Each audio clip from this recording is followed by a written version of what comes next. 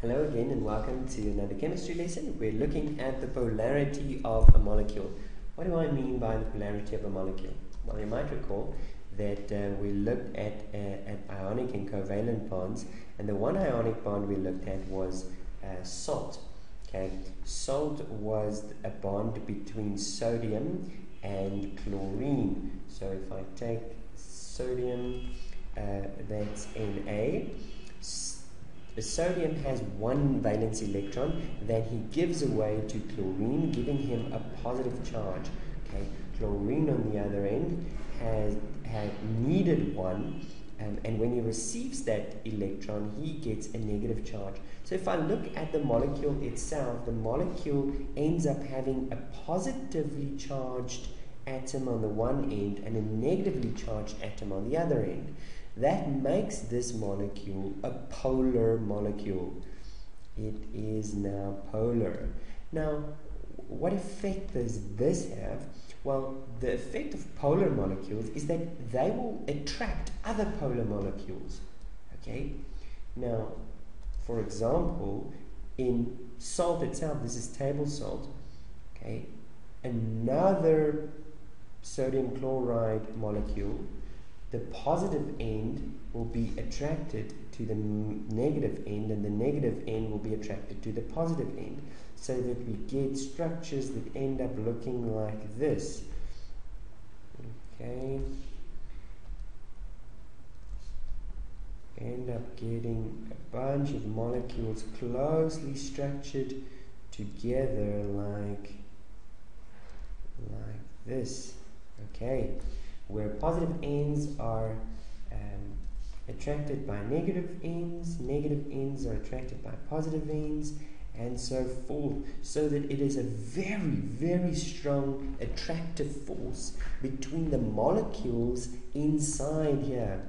Okay, so that is why salt is so hard, and when you try and bend salt, it breaks because you are breaking this uh, attractive forces between them okay um, instead of bending them. So that is a this is a polar uh, uh, an example of a polar molecule. Okay so this is the uh, um, is an ionic bond you might have recalled okay? So an ionic bond ionic bond is the strongest type of polar molecule that I can find. And you will remember that I used the scale, okay, where we looked at the difference in electron negativity. In other words, I took the electron negativity of chloride, chlorine, and the um, and I subtracted the electron negativity of sodium, and that gave me a value. If that value was was closer to 3.3, it was an ionic bond. If that value is closer to zero, it was a covalent bond. And you might recall that a covalent bond is where I, instead of giving away, I'm actually sharing my electron. Okay, both of them have an, uh, both of the molecules are um, want to attract an electron with the same amount of passion, if I may use that word. So instead, they then rather share it. Now, the polarity of a, a, molecule is also dependent on this. As you can see, ionic bonds are very polar, okay, polar, and covalent bonds are very non-polar. Okay, why non-polar? Well, you will um, remember the purest ionic bond that I showed you was when one molecule share one atom shares his valence electron with another atom from the same element. Okay, for example, hydrogen H2. Okay, hydrogen shares his one valence electron with another hydrogen. That produces H2. And this this uh, the electron sorry, the electron negativity's difference the difference in electronegativity for H2 is zero because it's it's this one and that one has the same one so if I subtract it I get zero which means that this is a very non-polar um, molecule because they're they are sharing it. The one isn't positive and the other one is negative. As a matter of fact, um, rather what we would have is a very neutral um, molecule. Okay, so at what at what point here does something go from polar to non-polar? And remember, it's not the electronegativity; it's the difference between electronegativity.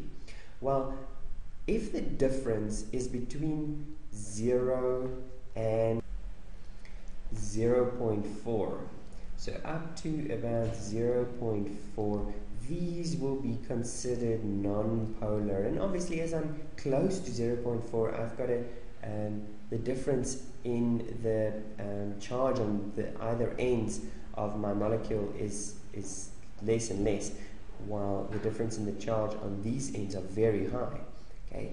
Up to about 1.7 okay, which is actually slightly less than a half, okay, up to about 1.7, these are considered covalent polar. They're still covalent bonds, but they are now polar covalent bonds. So they've shared an electron, okay, but while sharing that electron, and water is an example of that. Let me show you how water's molecule is. With water, we have oxygen molecule here, and then we have a hydrogen molecule here, and water, water wants, or not water, oxygen, oxygen has six valence electrons, so he needs two more, so he lends, or he shares one with a hydrogen, and he shares another one with hydrogen as well. So as you can see, and the reason why this one is polar is because the, uh, the electrons hang here. They hang here. The one electron that uh, hydrogen is sharing is pulled away from this end. Okay, making these ends more positively charged. Okay? And because the electrons are pulled in this direction, it gives the oxygen a more negative charge. Okay? Because now he's got two extra um, uh, electrons from the two hydrogens.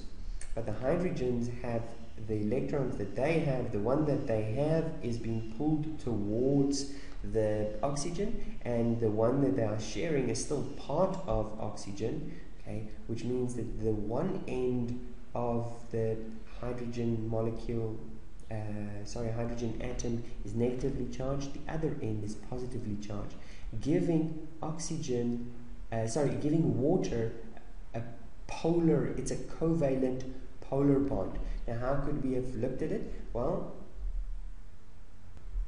if I go to my periodic table, I see oxygen is 3.44, the electron negativity. Hydrogen is 2.2. So if I calculate the electron negativity here, I get 3.44 minus 2.2 2.2 and what does that give me? That gives me 1 comma 24. 1 comma 24 is around here which makes it a covalent bond um, covalent bond and I see that I misspelled copolar terribly Poland okay so he, it, uh, water is a covalent polar bond. Okay, now what does this mean? What effect does it have to know what uh, whether something is polar or non-polar? Well, one thing is that polar substances polar substances does or do not do not mix or solve into non-polar substances.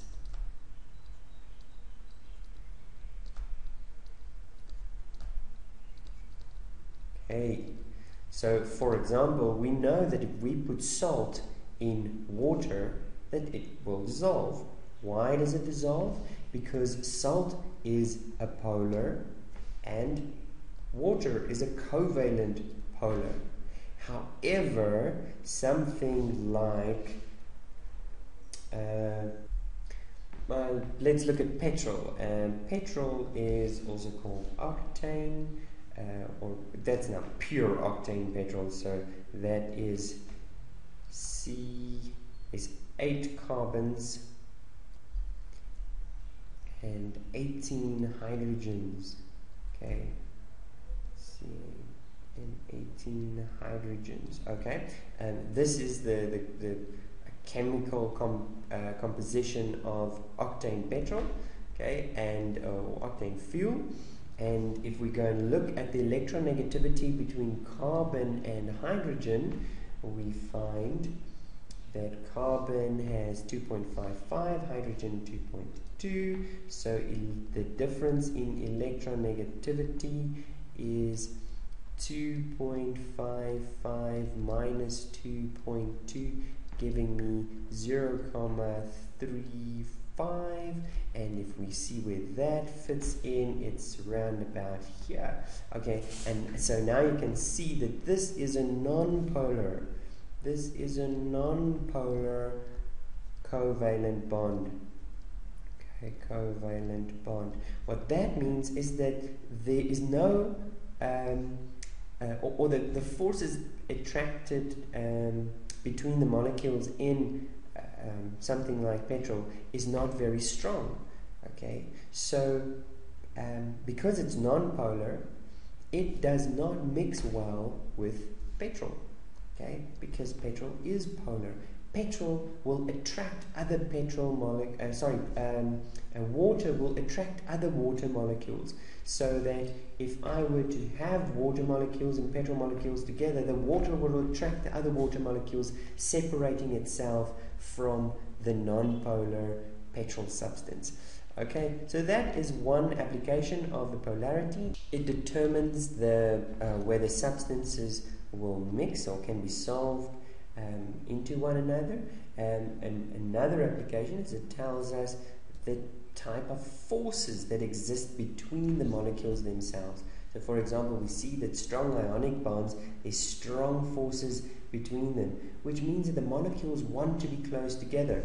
When molecules have strong forces in between them, they are very likely to be solids at um, low temperatures. Okay, so for example, salt we know is a solid. And you have to go at very high temperatures to excite these molecules so much that they separate from one another. Okay, water on the other end um, has is, is not as strong polar and therefore it is a, a, liquid but it's not a gas at room temperature. If I look at a non-co um, a non-polar uh, a very non-polar like H2 where the electronegativity is zero, this is a gas at very high temperature, uh, sorry, at very low temperatures even. Okay, so um, if we look at something, so you might ask, but why is petrol, for example, petrol is a liquid, okay? Yes, but petrol has a very high uh, rate of evaporation. In other words, if you leave petrol, um, a container with petrol open, it will evaporate very quickly out of the, that container. Okay, there's a special word for it, we'll learn it later. And also, petrol has a very low boiling point. If you were to boil it, it will boil much quicker than water. Why so?